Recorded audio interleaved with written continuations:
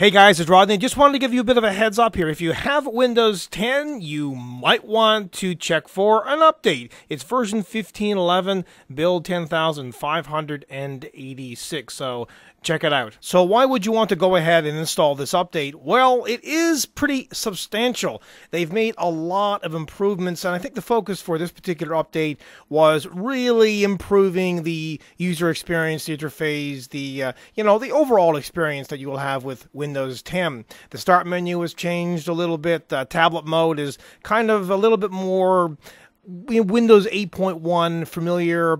Uh, the context menu is changed somewhat. If you're using Cortana, that's got some improvements. Desktop as well, you know, personalization, all that kind of stuff has got some improvements. Plus, also, you've got some privacy changes, and as well, the Microsoft Edge browser, well, that has also been changed somewhat. Now, these are tweaks more than anything, but uh, it's good to see improvements. And I will also link you to a site that you can go to to see pretty much all the features, changes, and improvements.